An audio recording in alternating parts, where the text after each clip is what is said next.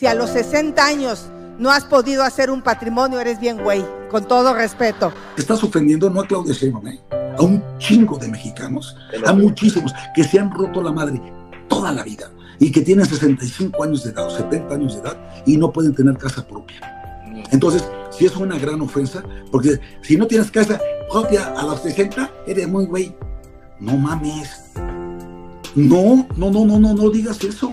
Ojalá y Xochitl nos cubra eso, de que los huevones no caben en el gobierno y tampoco en el país. Ya se acabó que estés recibiendo programas sociales.